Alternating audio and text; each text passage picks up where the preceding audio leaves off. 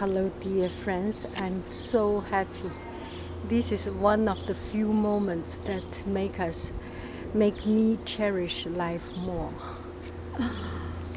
And uh, today, my son was having sports, is having sports class, and he forgot his uh, uh, helmet because they were playing hockey they are going to play hockey. I'm sorry, I have all this grammar, uh, the tense.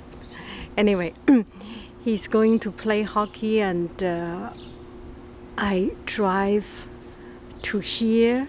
I drove here to give him the helmet, so now he can play, and uh, I'm just so happy. I know he's happy, happily playing now and uh, come out of uh,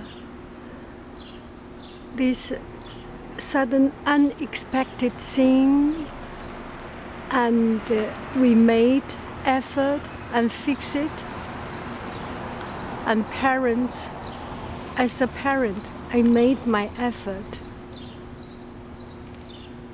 And we feel that profound bonding and love I am so happy. I have to show you my face. I am so happy. Happy the whole week.